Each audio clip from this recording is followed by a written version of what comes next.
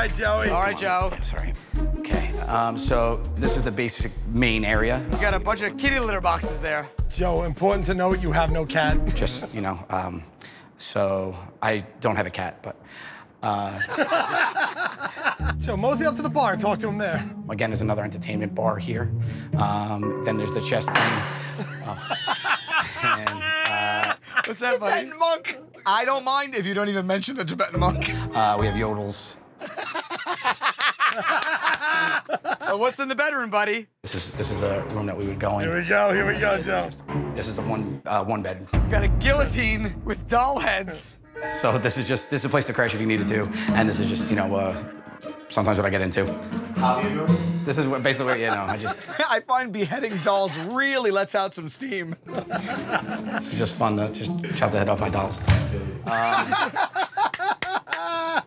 this is you got a fridge in this. Uh, our bathrooms here, like I told you. The litter box is mostly Chen. Yeah. if, I'm gonna, if I'm gonna be honest, that works mostly Chen. Okay. so you guys host? Oh, we do we do host a lot of stuff. That's why I have so many litter boxes because there's normally you know a party breaks out anytime. Uh, Just chopping heads off dolls. People everywhere. There's yodels. It's nuts. I mean, the parties are crazy. We, you know, chopping heads off dolls, people taking in litter boxes, the Yodel factory over there, Chen DJs. What do you, what do you, um, you're a DJ? uh, so you think it's something you'd be interested in? Sure. Yeah, man. Awesome. Oh my God! yes, yes.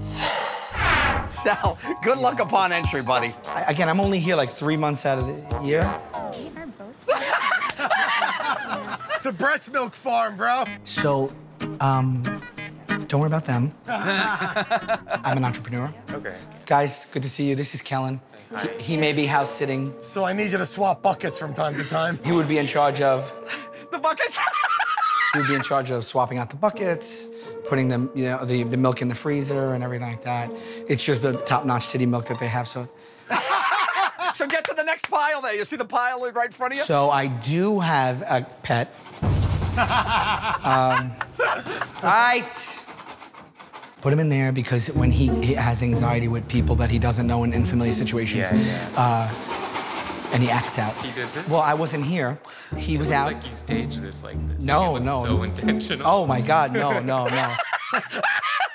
we got through the terrible twos with him. Yeah. Let me just tell you, never have a son. Let me tell you something. Don't ever have a son. What kind of dog is it? What's that? What kind of dog? My son.